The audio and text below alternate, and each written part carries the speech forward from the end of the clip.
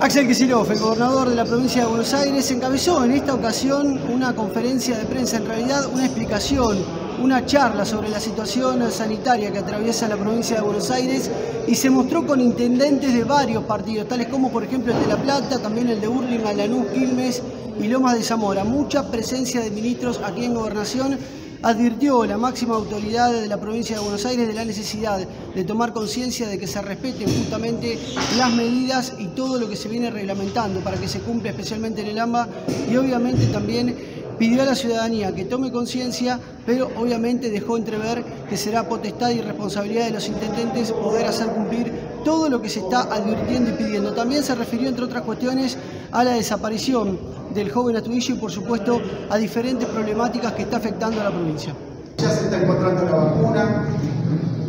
porque pronto vamos a tener más precisiones acerca de cuándo va a llegar, porque mientras tanto hay que seguir resistiendo y mientras tanto también, y lo quiero decir, ya empezamos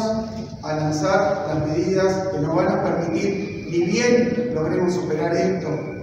ni bien consigamos una cura, ni bien tengamos controlada la enfermedad, buscar lo que todos queremos. Buscar la recuperación económica, la reconstrucción del tejido productivo, industrial, comercial, de nuestras pymes, poner de pie a la Argentina poner en marcha a la provincia. Y si lo hacemos, lo vamos a hacer entre todos, nación, provincia y municipio y con todos los y la Así que muchísimas gracias a todos y bueno, a seguir trabajando para que esto pase lo antes posible, falta menos. Muchísimas gracias.